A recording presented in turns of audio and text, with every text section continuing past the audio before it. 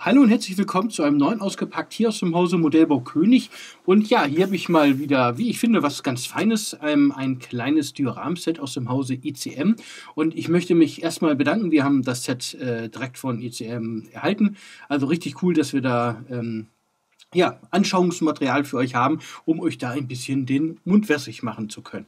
Ähm, ich komme mal zu den Eckdaten. ICM 35114 im Maßstab 1 zu 35 den Krankenpanzerkampfwagen Sonderkfz 251-8 in der Ausführung A.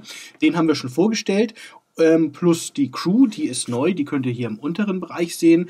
Ähm, wir haben für das Fahrzeug sechs Spritzlinge, wir haben Vinylreifen und eine Vinylkette, wir haben Klarsichtteile.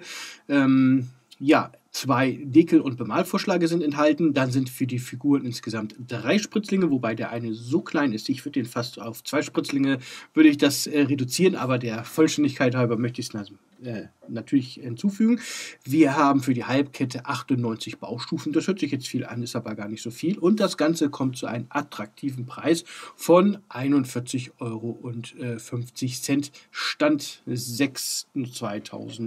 2000. 24. Ähm, so, ich würde sagen, wir gucken uns erstmal wie immer die Anleitung an, die auch wie immer in einem sehr schön großformatigen ähm, Bereich daherkommen. Ich würde sagen, ich blätter mal ein bisschen ähm, flugs da durch. Wie gesagt, den Bausatz haben wir schon ähm, vorgestellt.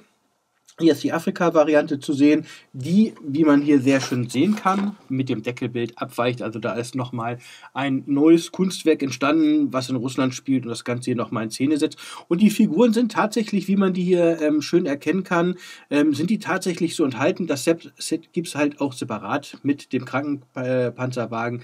Äh, ist das natürlich wirklich eine tolle Kombo und man spart auch echt noch ein bisschen Geld dabei. So, aber zurück zu dem Bausatz. Da haben wir in ukrainischer Schrift haben wir ein bisschen was zur Geschichte. Hier das Ganze in Englisch. Dann sind hier die Farben von A bis Q angegeben. Leider nur mit den Farben von ICM. Auf der Seite ähm, von ICM selber sind aber, da ist auch nochmal ein Link zum YouTube-Kanal bei denen, ähm, sind aber die Umrechnungsfarben ähm, enthalten. Also zumindest das ist nämlich ein bisschen ähm, ja, von Nachteil, weil die Farben hat so gut wie keiner. Ähm, das ist ja auch nochmal wieder ein neues Farbsystem. Das äh, sind natürlich alles so eine Sachen. So, ähm, relativ gut aufgebaut, wie ich finde. Ähm, ein logisches Konzept. Da haben wir die Teilübersicht. Die Anleitung ähm, von ICM sollte wirklich soweit ähm, klar sein. Hier sind dann die Vinylketten. auf der anderen Seite waren die Reifen. So, und diese Unterwanne, die setzt sich aus diesen ähm, beiden Teilen fort. Und da kann man eigentlich gar nicht viel verkehrt machen, weil das hier schon mal schön vorgegeben ist. Und wenn ihr jetzt diese Unterwanne hier habt und ihr setzt dann das Oberteil drauf, dann ist es halb schon fertig. Also das ist schon wirklich ähm, ja, ganz geschickt gemacht. Ähm, und lässt natürlich die Ausführung A ist von ähm, ECM, naja, ich möchte nicht sagen ausgelutscht worden, aber die vorhandenen Formen werden ähm, für die äh, vorhandenen Modelle, die es da gab oder Ausführungen schon ähm, sehr gut genutzt. Ich meine, klar, so eine Form, es kostet irrsinnig viel Geld und da macht sich das natürlich nützlich. Und es ist, das muss man auch nochmal sagen, diese Ausführungen A, beziehungsweise diese Ausführung ähm, 8, die gab es bisher nur von der Firma MR Modellbau für eine, ich glaube, Ausführung C oder D als Umbausatz. Und daher ist es schon, hat das schon seine Legitimation, dass man hier dieses äh, Modell dann auf jeden Fall dann auch hergestellt hat. Sind auch schon andere Modelle rausgekommen, ich bin gespannt, was da noch kommt die Form ist ja da. Und gerade wenn man das in Zusammenhang macht mit der ähm, Figuren, die man ja auch aus dem eigenen Hause entwickelt, ist das wirklich eine nette, tolle Kombo. Und gerade die Ausführung A, ähm, von der ja mit am wenigsten ähm, gelaufen ist, die macht natürlich ordentlich was her. Da sind ja hier noch die ähm, Sichtluken, dann haben wir hier nochmal andere Sachen. Wir haben hier die Wartungsklappen, die da ähm, bei der Ausführung B noch sind. Ähm, die ähm, sind dann ja bei der Ausführung C entfallen, einfach aus fertigungstechnischen Gründen, um das Ganze ein bisschen zu vereinfachen und gipfelten dann in der Ausführung D, die dann dann, ähm, ja, ich sag mal, am einfachsten oder am schnellsten dann dementsprechend hergestellt worden sind und wo dann auch die meisten Exemplare dann hergestellt worden sind. So, von den Detaillierungen ist das äh, ganz großes Kino. So ein ganz, ganz bisschen ähm, schwächelt das noch mit anderen Herstellern. Wir haben zum Beispiel auf den ähm, Reifen, das sind Vinylreifen, die sind so, naja, möchte ich mal so sagen. Wir gucken uns das aber auch noch an. Wir haben auf den Flanken keine Herstellerangaben. Wir haben jetzt hier auch nicht, da steht jetzt nicht Vorwerk drauf, wie zum Beispiel bei äh, Dragon oder ähm, ja, sowas halt. Aber die können halt wirklich mit anderen Sachen ähm, aufwarten. So und alleine, wie gesagt, dieser Kranken Wagenaufbau, der ist schon mal richtig was, äh, macht richtig was her. So, dann ähm, ganz äh, groß zu sehen haben wir hier diese äh, großen Rotkreuz ähm, Naschiebebilder, die dann auch im Bausatz enthalten sind. Hier für Nordafrika, wobei die, ähm, ich sag mal, so wertvollen Fahrzeuge schon, ähm, ja, da wird natürlich geguckt. Dann haben wir hier das Ganze in einem Panzer Grauton. So, und da steht einfach nur ähm, ja für die Ostfront 1941 bis 1942. Wir haben aber keine Einheiten, Ort, Dat ähm, oder so angegeben. Man könnte jetzt beigehen, wer macht her ist hier und anhand des Nummernkreises könnte man das bestimmen, welcher Wehrkreis das ist. Das wäre zum Beispiel möglich. Dann könnte man noch so ungefähr gucken, ähm, welche Panzerdivisionen ähm, dazugehören und äh, dementsprechend das ein. Ja, kalkulieren. Und hier ist nochmal ein taktisches Zeichen da drauf. Aber das ist dann auch alles, was wir vom Hersteller an Daten mitbekommen. So, für die Figuren, die ja als einzelnes Set auch ähm, erhältlich sind, da haben wir hier die Übersicht. Hier sind dann die Spritzlinge. Das ist Spritzling 1, das ist Spritzling 2 und das hier ist Spritzling ähm, Nummer 3. Deswegen habe ich gesagt, das geht fast ein bisschen unter. Dann haben wir von A bis R hier die Farben, auch wieder von ähm, dem gleichen Hersteller, von dem eigenen Farbsystem. Hier sind die Bauteile, das sind die in schwarz gehalten und das sind dann die dementsprechenden Farben. Ähm, so sieht das Ganze aus und so wird das auch geliefert und die haben eine überraschend gute Qualität. Aber wir kommen jetzt erstmal zum eigentlichen Bausatz. Der ist wie immer bei ICM mit diesem, na, komm mal raus, du Lümmel, ja, ich liebe diese Kartons mit diesem wunderbaren Schilfkarton hier versehen. Und hier kommt dann dieser Klappendeckelkarton. Und so, also der Bausatzkarton ist voll. Das sieht schon mal ganz gut aus. Wir fangen mal mit den Figuren an. Die liegen nämlich oben drüber. Und dann fange ich hier mal mit diesem schönen kleinen Spritzling an, der uns hier beglückt mit MG-Munition, gegurteter Munition. Und ähm, die wird ja nicht schlecht, das ist ja das Schöne an Kunststoff. Das wird nicht gammelig, wenn man es nicht gerade in die Sonne legt. Ähm, das wird dementsprechend auch weitere Verwendung finden. Dann bekommen wir für die Soldaten bekommen wir hier noch ähm, Ausrüstungsgegenstände. Und da hat ICM wirklich gut nachgebessert. Ich erinnere mich an die Bausätze, die ähm, früher rausgekommen sind. Und da ist wirklich, wirklich pass was passiert. Man achte mal hier ähm, auf die im Slide-Mode hergestellten Bauteile. Da sind nämlich so wunderschöne Details wie hier die seitlichen Laschen von den ähm, Maschinengewehrkistchen, aber auch hier vom MG, ähm, was hier dargestellt ist, ein ganz bisschen Fischhaut. Und äh, der Clou ist, hier sind die Seitenteile, die werden dann hier rangebaut. Ich gehe mal ganz nah ran, dass man das sehen kann. Drehe das Ganze mal um und so bekommt man ein richtig schönes, detailliertes ähm, ja, Magazin. Und auch ihr habt die Löcher hier bemerkt, da sind die Griffe. Man hat nämlich die Wahl, da sind die, man hat die Wahl, das Ganze halt aufgerichtet darzustellen oder dementsprechend, ähm, ja, ich sag mal, abgelegt. Auch hier die Taschen für die MP40 hier schön zu sehen. Ähm, das ist kein Gussfehler, das ist echt oder absichtlich so gemacht, dass die dementsprechend hier an der Seite auch ähm, so, wie die tatsächlich gefallen sind, ähm, die haben sich ein bisschen dem Körper angepasst. Ähm, der Stoff war ja nicht ähm, starr, sondern flexibel. So und äh, gleich, dass das bei der Figur dann dementsprechend nicht immer so aussieht. Das finde ich immer ein bisschen schade. Bei äh, Dragon, die machen auch immer so schöne Figuren und schönes Zubehör, aber das sieht ja manchmal so ein bisschen super starr aus und dementsprechend Dementsprechend ähm, hat das hier der Hersteller definitiv besser gemacht. Ähm, dieser Spritzling W1, der kommt eigentlich bei fast allen ICM-Bausätzen vor, wo Figuren enthalten sind und enthält, wie man schön sehen kann, hier rudimentäres Zeug wie Waffenanlagen, äh, Munitionszubehör, Labeflaschen, naja, was alles so der Lanza in dem Zeitraum halt getragen hat. Die eigentlichen Figuren, persönlich mein Highlight, wie ich finde, die finden wir hier an diesem Spritzling. Da ist alles ähm, vorhanden und da sind jetzt hier, man guckt sich mal das Marschgepäck an, da auch wo der Affe dann drauf, äh, ja, angebracht worden ist, dieses Koppeltragelgestell. Das kann man sehr schön sehen. Da ist auch noch die, der Brotbeutel, die ähm, Details wie die Arme. Also es spielt ein bisschen zu wärmerer Zeit, beziehungsweise ist der Ärmel hochgekrempelt, weil dort eine Infusion drin ist. Dann haben wir hier die Knobelstiefel. Ich würde äh, thematisch oder zeitstrahlmäßig das schon von 1939 bis 42, na, ich denke mal so 43 ansiedeln. Und wenn wir uns mal die Figuren angucken, die sind sauber gegossen, sauber gespritzt. Ähm, eine sehr schöne Detaillierung und ähm, wie man sehen kann, sehr schönes Zubehör hier in Form von ähm, ja, Erste Hilfe Sachen, naja, so eine Sachen, die da halt mit zu sind. So, das wollen wir uns mal angucken. Und da diese kleine Flasche, die jetzt hier ins Blickfeld rückt, das ist diese Infusionsflasche. Ähm, da müsste dann noch selbsttätig ähm, mit zum Beispiel Bleidraht, Kupfer oder was auch immer dann der Zugang äh, gelegt werden. Hier sind die Details von den anderen Uniformen und wir haben sogar eine kleine Strohunterlage für den Soldaten ähm, von den Gesichtszügen, okay, das ist äh, Spritzguss, da könnte man sicherlich noch ein bisschen was machen, obwohl es ist gut zu erkennen. Ich drehe das Ganze mal um, aber leider ziert äh, die Trennnaht ein bisschen unglücklich. Das Ganze, da muss auf jeden Fall ein bisschen nachgearbeitet werden. So, und hier haben wir auch noch Details. Da ist der Fuß ist hier verbunden. Da haben wir anscheinend eine Fuß- oder eine Beinverletzung. Hier einmal die Rückseite und da können natürlich dann die Soldaten dementsprechend mit Zubehör versorgt werden, was man da halt auch aus diesem Spritzling ähm, der denn verwenden möchte. Ja, dann haben wir altbewährt Ideal Standard für Halbkettenfahrzeuge.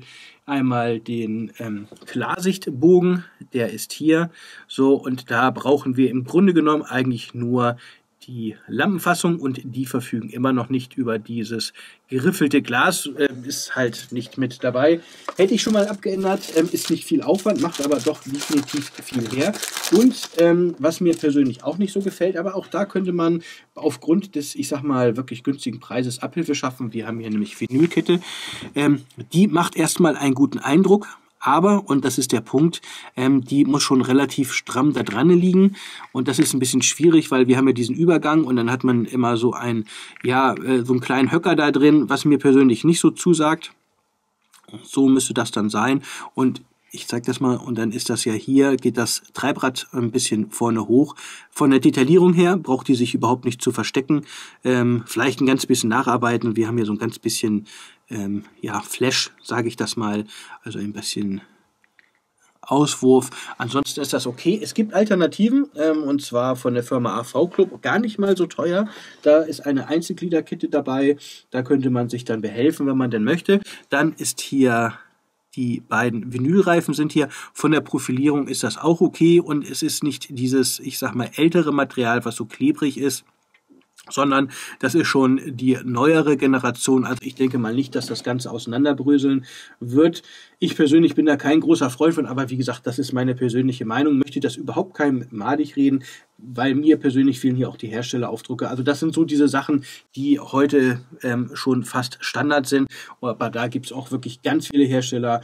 Ähm, Pimp My Miniatures, ähm, dann gibt es aber auch hier Panzerart, es gibt äh, ganz viele andere Hersteller, Royal Modell, na, Royal Modell hat auch keine Herstelleraufdrucke, ähm, aber die sind dann aus Resin von der Qualität ein bisschen besser oder nochmal anders, die man dann wählen könnte, wenn man denn möchte. Das ist ja der Schöne am Modellbau, ähm, dass der Hersteller halt das Modell so liefert, dass ihr es halt bauen könnt, aber ihr könnt es dementsprechend auch noch immer weiter pimpen. So, dann kommen wir hier zu dem eigentlichen Fahrzeugmodell und das kommt mit einer ordentlichen Vollausstattung daher. Ich gehe bei den Spritzlingen mal ein bisschen schneller daher. Ich habe es ja schon diverse Male vorgestellt, das Modell. Wir haben hier einen Motor. Solltet ihr den Motor nicht gebrauchen, auf gar keinen Fall wegschmeißen. Ähm, der passt nämlich auch mit einigen kleinen Modifikationen, wie ich herausgefunden habe, ähm, bei Dragon oder bei AV Club herein, weil diese beiden Hersteller kommen nicht mit einem Motor daher, verfügen nicht über diese Details und bei geöffneter Motorraumklappe kann man da nämlich ganz tief reingucken und ich glaube, ja, Dragon hat das auch, dass die Option steht, dass ihr dementsprechend das auch offen stehen lassen könnt. Also ähm, dieser Bereich hier mit den Umlenkrollen, den Spannrollen und auch diversen Motorteilen hier nicht wegschmeißen, ähm, wie ich vorhin oder eingangs schon gesagt habe, das frisst kein Brot, das wird auf jeden Fall nicht schlecht. Ja, von der Detaillierung haben wir hier auf der Rückseite auch noch einiges zu bieten. Da sind einige Auswerfermarken, aber das braucht uns gar nicht zu interessieren, weil da nämlich noch Anbauteile hinkommen. Insofern ist uns das eigentlich ein wenig wurscht. So, zur Wurst kommt der Käse und den haben wir hier. Hier sind die Laufrollen. Ähm, den Spritzling haben wir zweimal.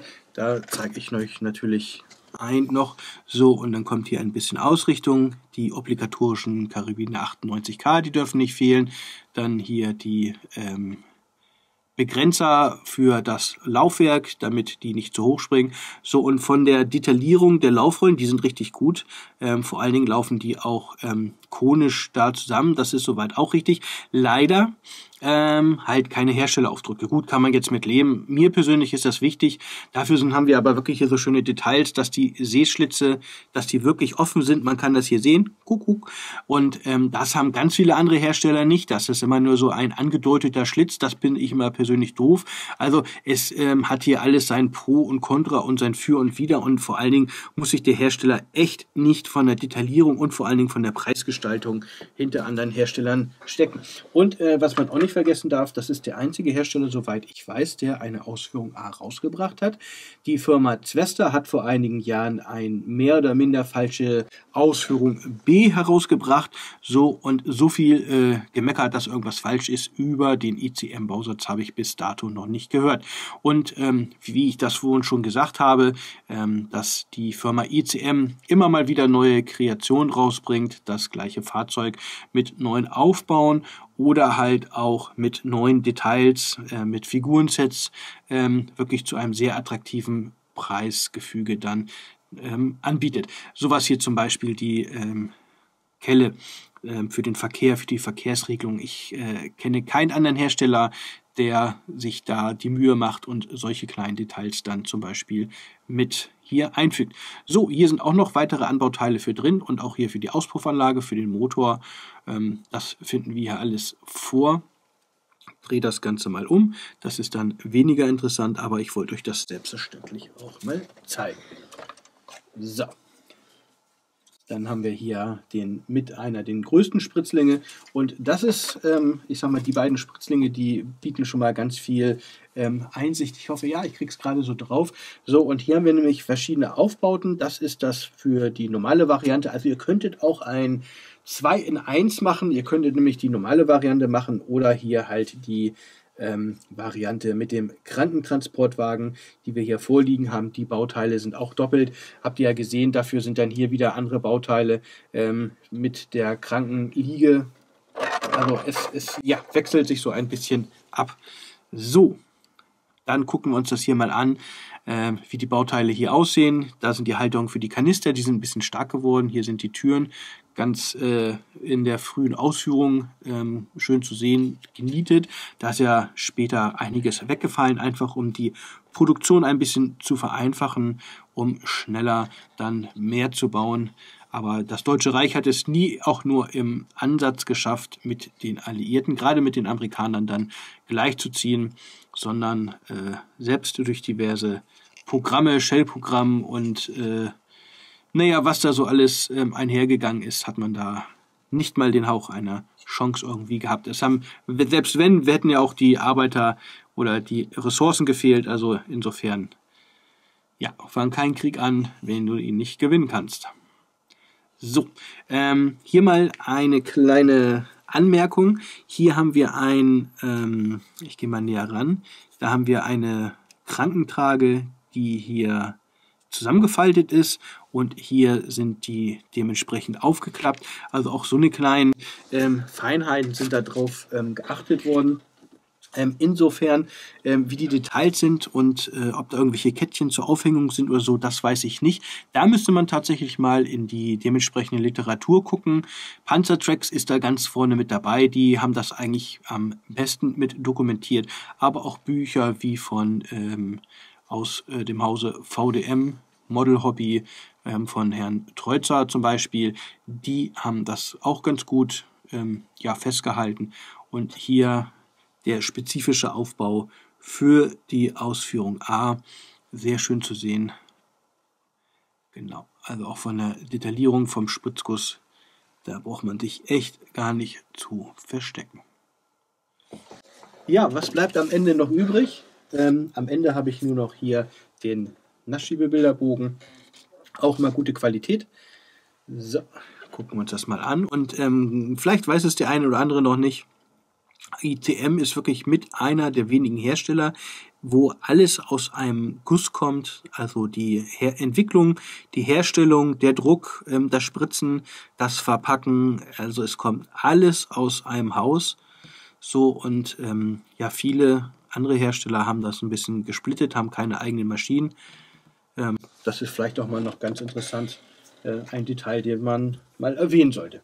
So, dann sind wir auch schon durch. Wie gesagt, nettes Combo 41,50, knaller Preis, wie ich finde. Ähm, dann bedanke ich mich recht herzlich bei euch für eure Aufmerksamkeit. Ich hoffe, es hat euch Spaß gemacht, dass ich hier euch ein bisschen ja, durch die Sendung führen konnte. Ähm, Würde mich freuen, wenn ihr gerne ein Abo, ein Like da lässt. Ähm, besucht uns bald wieder. Wir sehen uns auch wieder beim nächsten Video. Bis dahin macht's gut, meine lieben Freunde. Euer Christian von MPK.